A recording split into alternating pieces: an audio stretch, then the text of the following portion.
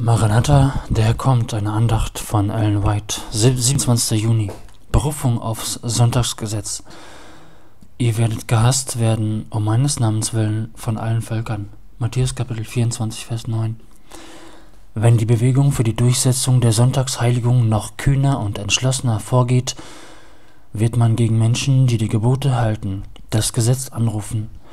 Geld und Haftstrafen werden ihnen angedroht, Einigen wird man einflussreiche Stellungen anbieten, den anderen wieder Belohnungen, und Vorteile, um sie zu veranlassen, ihrem Glauben abzuschwören. Doch ihre standhafte Antwort lautet, beweist uns aus der Bibel, dass wir falsch liegen. Die vor Gericht gezogen werden, verteidigen die Wahrheit äußerst wirkungsvoll, was einige der Zuhörer zu dem Entschluss veranlasst, alle Gebote Gottes zu halten. Dadurch wird Tausenden Aufklärung zuteil, die sonst diese Wahrheiten nicht kennengelernt hätten. Gewissenhafter Gehorsam gegenüber dem Wort Gottes wird als Rebellion behandelt werden.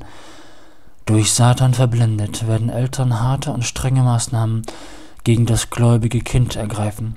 Der Meister oder die Chefin wird den Angestellten unterdrücken und der die Gebote hält. Das Band der Zuneigung zerreißt, Kinder werden enterbt und aus dem Haus geworfen. Die Worte des Paulus werden sich buchstäblich erfüllen. Alle, die fromm leben wollen in Christus Jesus, müssen Verfolgung leiden. 2. Timotheus Kapitel 3 Vers 12. Wenn die Verteidiger der Wahrheit sich weigern, den Sonntag als Sabbat zu ehren, werden einige ins Gefängnis gesteckt, einige verbrannt, andere wie Sklaven behandelt. In dieser Zeit der Verfolgung wird der Glaube der Diener des Herrn auf die Probe gestellt. Sie haben die Warnung gewissenhaft weitergegeben, indem sie nur auf Gott und sein Wort geschaut haben.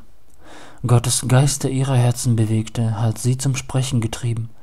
Wenn aber der Sturm des Widerstandes und der Ablehnung sich gegen sie erhebt, werden einige völlig bestürzt ausrufen. Hätten wir die Folgen unserer Worte vorausgesehen, dann hätten wir den Mund gehalten. Sie werden von Schwierigkeiten bedrängt. Satan greift sie mit heftigen Versuchungen an. Die Aufgabe, die sie sich vorgenommen haben, scheint ihre Fähigkeit weit zu übersteigen. Sie werden mit dem Tod bedroht. Die Begeisterung, von der sie früher angetrieben wurden, ist dahin, doch können sie nicht mehr zurück. Schließlich suchen sie im Bewusstsein ihrer äußersten Hilflosigkeit beim Allmächtigen Zuflucht und bitten ihn um Kraft. Maranatha, der Herr kommt.